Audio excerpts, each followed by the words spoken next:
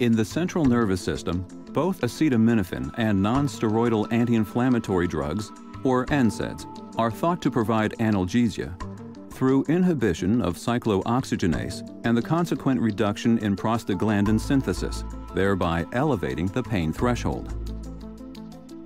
At peripheral locations, NSAIDs also inhibit cyclooxygenase and reduce prostaglandin production. These peripheral actions account for their local analgesic effects, as well as for some of the unintended health consequences NSAIDs can potentially cause in the heart, stomach, and kidneys.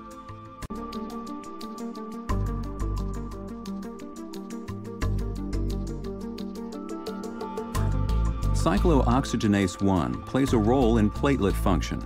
Aspirin interaction with platelet COX-1 receptors mediates the cardioprotective benefits of aspirin therapy.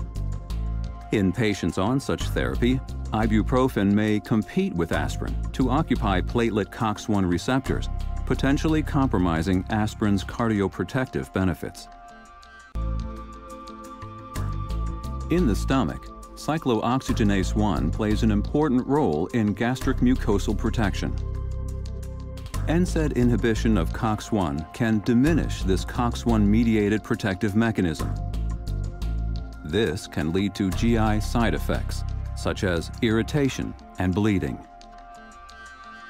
In fact, the second most common cause of peptic ulcers is regular use of NSAIDs.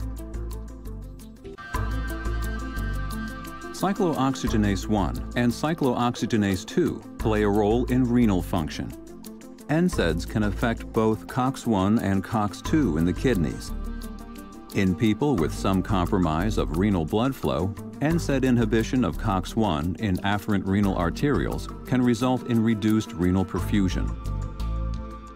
In distal tubules, NSAID inhibition of COX-2 can result in altered tubular sodium and water handling.